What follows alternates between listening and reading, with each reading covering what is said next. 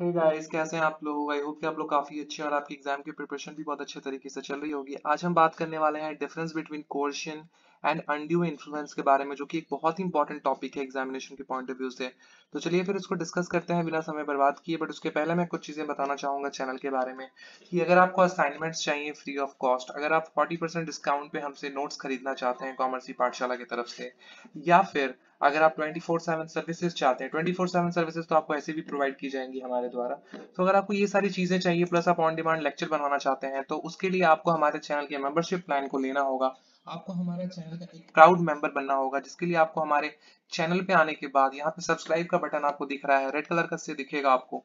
उसको सबसे पहले सब्सक्राइब करने लेना है बेल आइकन का बेल आइकन दबा देना है और उसके बाद फिर जो ज्वाइन का बटन है, इसके ऊपर आपको क्लिक करना है। ज्वाइन के बटन के ऊपर क्लिक करने के बाद इग्नो बीकॉम में आपको जाना है। यहाँ पे एक नॉमिनल सा फ़ी आपको पेमेंट करना पड़ेगा जो कि हंड्रेड एंड नाइनटीन रुपीज़ का।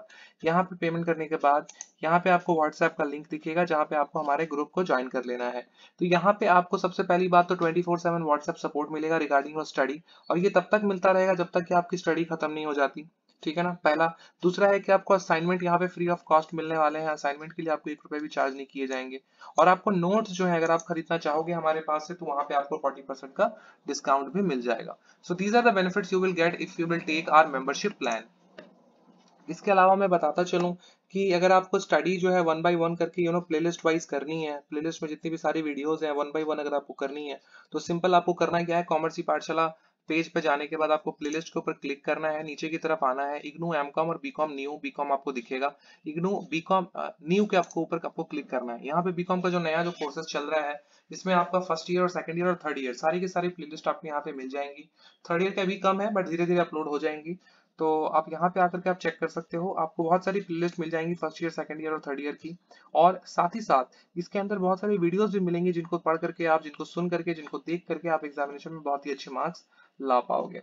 ठीक है? तो चलिए फिर लेक्चर स्टार्ट करते हैं बिना समय बर्बाद किए हमारा, जो कि है कोर्शन और अंड्यू इन्फ्लुएंस का डिफरेंस सो कोर्शन का मतलब क्या होता है? कोर्शन का मतलब होता है relation between the parties is not necessary coercion का मतलब होता है, दो लोगों के बीच में जो रिलेशनशिप होता है, उसके बारे में यहाँ पे बात की जा रही है कि दोनों के बीच में जो रिलेशनशिप है, वो नेसेसरी नहीं है। है ना? उसको हम बोलेंगे कोर्शन का सबसे पहला जो डिफरेंस का पॉइंट है वो यही है। बट इन्फ्लुएंस में इन्फ्लुएंस के केस में some sort of relationship must exist between the parties but and undue influence के केस में कुछ एक तरह का रिलेशन जो है दो लोगों के बीच में होता है। है ना? तो ये सबसे पहला डिफरेंस है कि कोर्शन में कोर्शन में रिलेशनशिप जो है पार्टीज़ के बीच में होना ज़रूरी नहीं होता। बट अनड्यू इन्फ्लुएंस में रिलेशनशिप होना इंपॉर्टेंट है, तभी वो आपको इन्फ्लुएंस कर पाएगा। Right right? सेकंड पॉइंट है consent is given under the threat of offence consent coercion जो होता है, वो एक तरीके से आपको यू नो थ्रेट दिया जाता है कि आपको जो है ये काम करना ही होगा, है ना? Consent is given under the threat of an offence आप बोलते हो कि आप अगर, आप थ्रेट देते हो कि अगर आप ये काम नहीं करोगे तो हो सकता है मैं आपके साथ कुछ ऑफेंसिव बर्ताव करूँ। हो सकता है मैं आपके साथ कुछ गलत करूँ। तो इस केस में आपको यू नो डर के मारे या फिर यू नो थोड़ा सा डर के मारे हमें जो है कॉन्सेंट अपना देना पड़ता है। तो उसे हम कोर्शन कहेंगे। बट अनड्यू इन्फ्लुएंस में यहाँ पे किसी भी तरह का यू नो थ्रेट नहीं होता बट बल्कि यहाँ पे एक तरीके से किसी की सुप्रियर जो पावर होती है, उसका फ़ायदा उठाया जाता है ताकि आप दूसरे को इन्फ्लुएंस कर पाओ। है ना? यहाँ पे आप इन्फ्लुएंस करने की कोशिश करते हो। Consent is obtained by dominating the will यहाँ पे जो विल है, उसको एक तरीके से डोमिनेट करने की कोशिश की जाती है by using the superior power और इन्फ्लुएंस है ना? And no offence is committed और यहाँ पे किसी भी तरह का ऑफेंस जो है वो कमिट नहीं किया जाता। तो ये दो डिफरेंस है। तीसरा डिफरेंस है इट इन्वॉल्व फ़िज़िकल फोर्स और थ्रेड कोर्शन के केस में फ़िज़िकल फोर्स इन्वॉल्व होता है और थ्रेड इन्वॉल्व होता है। मतलब आप किसी को धमकी देते हो कि अगर आप ऐसा नहीं करोगे तो मैं आपके साथ ऐसा कर सकता हूँ। कोर्शन के केस में। अनड्यूअल अनड्यू इन्फ्लुएंस में इट इन्वॉल्व मोरल प्लेजर यहाँ पे लेकिन ऐसा नहीं होता, यहाँ पे मोरल प्लेजर यहाँ पे इन्वॉल्व होता है। ठीक है ना? फोर्थ पॉइंट है it may move from even a stranger and may be against the promisor himself or in a person whose welfare the promiser is interested है ना? तो ये एक तरीके से मूव करता है किसी एक स्ट्रेंजर के पास से, किसी एक प्रोमिसर के पास से, जिसने आपको प्रॉमिस किया है कि ये जो है काम आपका हो जाएगा, ये ऐसे काम हो सकता है। तो उस केस में it may move from even stranger ये जो काम है पोर्शन का जो थ्रेट है, जो थ्रेट है, वो एक तरीके से स्ट्रेंजर से जो है मूव कर सकता है and may be against the promisor himself जो प्रॉमिस कर रहा है, उसके अगेंस्ट भी वो चीज़ें जो है, वो जा सकती हैं। और कोई एक person a person whose welfare is the promisor is interested जिसमें प्रोमिसर के वेलफेयर को इंटरेस्ट होगा, उसको नुकसान पहुँचाया जा सकता है कोर्शन के केस में। अनड्यू इन्फ्लुएंस में it is employed by the party to the contract है ना? अनड्यू इन्फ्लुएंस जो है, वो एक तरीके से इंप्लॉय किया जाता है पार्टी के द्वारा कॉन्ट्रैक्ट के तहत। है ना?